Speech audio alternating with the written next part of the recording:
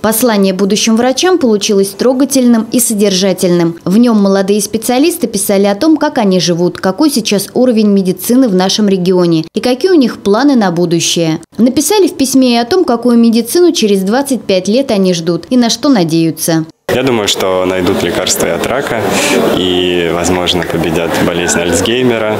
И, э, ну, я думаю, что в медицину нашу ждет, в общем-то, все только самое позитивное и хорошее. Капсулу времени с посланием будущим врачам заложили в день десятилетия со дня образования Совета молодых врачей Рязанской области. 17 июня 2009 года данный совет был создан как совещательный орган при Комитете по делам молодежи. Сегодня при Министерстве образования и молодежной политики и Министерстве Министерстве здравоохранения Рязанской области. Я надеюсь, что вы действительно а, пронесете через годы оптимизм, азарт и любовь профессии, а оптимизм, азарт к развитию и себя, и развитию своего совета. Успехов вам и этому начинанию, конечно, быть. Деятельность Совета молодых врачей направлена на повышение престижа специальности. Здесь молодым специалистам могут помочь в трудоустройстве, адаптации на рабочем месте и не только. На протяжении 10 лет э, в разном составе Совета вы работали с молодыми врачами и позволяли им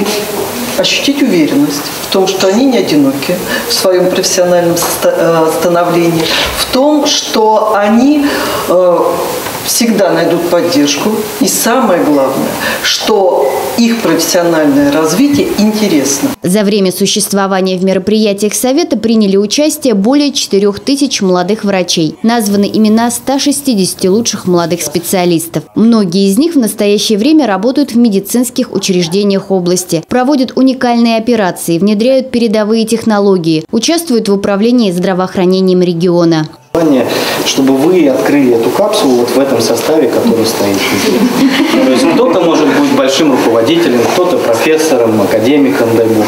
Вот. Но главное, чтобы вы держались вместе, потому что вместе вы команда и делаете то светлое дело, за которым потянутся остальные. Я благодарна всем, кто тогда это поддержал и кто все эти годы поддерживает.